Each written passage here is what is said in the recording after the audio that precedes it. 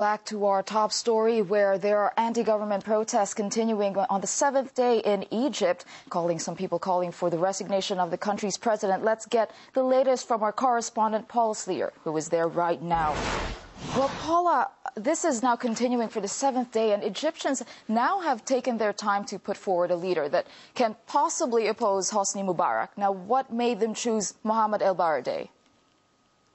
Well, firstly, it's worth noting that it was late on Sunday evening when Mohammed al Baradei addressed the hundreds of thousands of protesters who, as you say, for seven days now have been demonstrating downtown in Tahrir Square.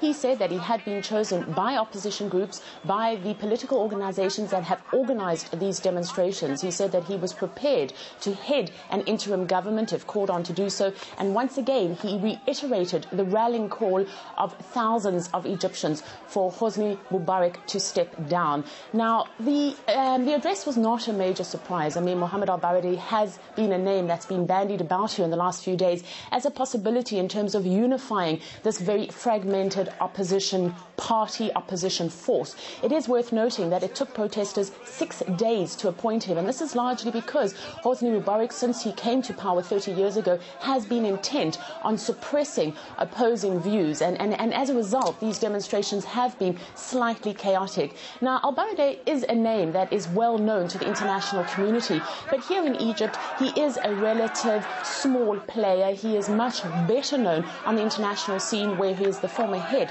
of the International Atomic Energy Agency and is also a former Nobel Peace Prize laureate. But certainly the opposition voices here getting an impetus with this new appointment. Okay, well, the death toll has now reached over 100, and it's still early morning in Cairo. Do you think there's going to be more violence ahead? Well, last night, as we saw in previous nights, the protesters out in downtown Cairo defied a curfew thousands of them gathering in Tahrir Square. Morning prayers have already happened. No doubt that as the day progresses, there will be an increase in calls for Mubarak to step down and the possibility of growing violence. Today is the seventh day of demonstrations, and so far we haven't seen any indication from Mubarak himself that he is prepared to address the concerns other than appointing a vice president or prime minister. But on Sunday afternoon, he did send his fighter jets over Tahrir Square. They flew quite low, and there the crowd was given the message that Mubarak will not be leaving without a fight. It is worth noting, though, that the main problem that people here are facing at the moment is that of lawlessness.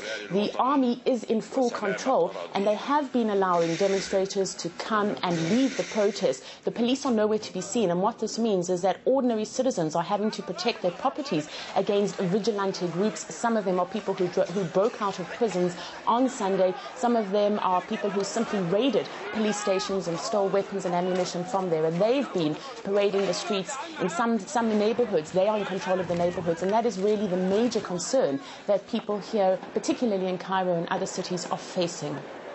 All right, well, world leaders are watching the situation in Egypt closely, and we see that the political future of Egypt remains quite unclear. Now, what do people there in Cairo expect to happen next? Well, it, it's really difficult to say. I mean, the protesters themselves say that they will accept nothing short of Mubarak stepping down.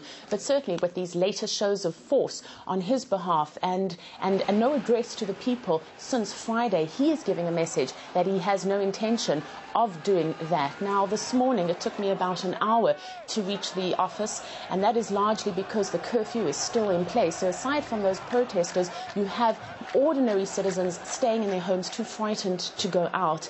The sense you get is one of unpredictability, the sense you get is instability, and really a situation that can flare up at any moment. It does seem at the moment as if violence is on the horizon. Just how long these demonstrations will continue and just how that violence will end remains to be seen. Talking to protesters, though, what many of them say is that if Mubarak does not step down, overseas, particularly Europe, beckons, and, and I filed this report in that respect. First, he sent in his army.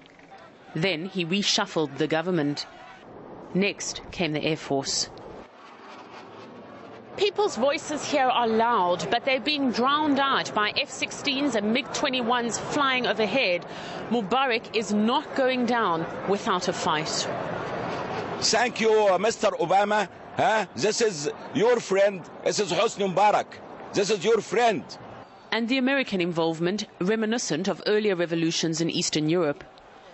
No question about it. What happened in Georgia with the Orange Revolution, uh, or rather the Rose Revolution in, Georgia, in uh, Ukraine with the Orange Revolution, 2003 2004, was part of a long-term strategy orchestrated by the Pentagon, the State Department, and various U.S. Uh, financed NGOs like uh, Freedom House and National Endowment for Democracy.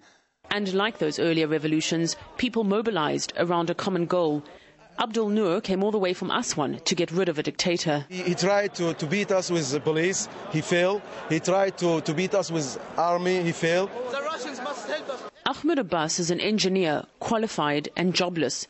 But he says he can't find work because of corruption. We can't find job. He, he paid to one inside the company 60 thousand Egyptian pounds so he can work in the company. And as a result, Europe beckons. Most of people want to go to Italy, want to go to Greece, want to go to England. So people in Egypt want to leave this country because they are very frustrated and they are looking for better life, for better future. And for Europe, that means mass immigration and the problems that come with it. May Korshed lives abroad but got caught up in the violence on a trip back home. I don't think at this, I think there's enough momentum at the moment that people will just continue to just go out and protest until something is done. Um, I think people are just fed up. The casualties keep climbing. Young faces, victims of an aging regime. Mohammed El Sibai was with his cousin when he was shot dead. He took a bullet in, uh, in his head, and the last word he said before he died, Tahya Masr is what meaning in, in English, um, um, may God protect Egypt forever. But whether that protecting will be with or without President Mubarak is still unclear. Well, as the seventh day of demonstrations gets underway here in Egypt, no doubt the international community will remain focused on what happens here, as will Egyptians themselves. I'll be bringing you more updates throughout the day. Thank you very much, Paula. We'll be getting more live reports from Cairo throughout the day, so do stay with RT.